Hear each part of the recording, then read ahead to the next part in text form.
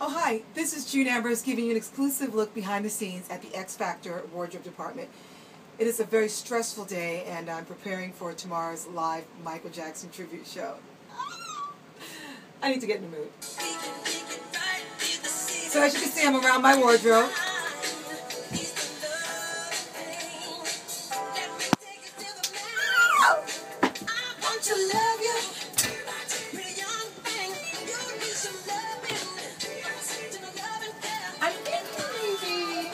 I wonder who's going to end up wearing this.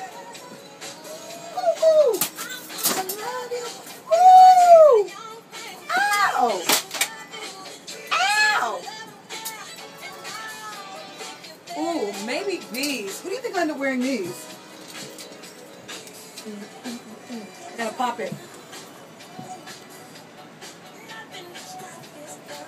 Uh, uh, uh. So just stay tuned because tomorrow's show is going to be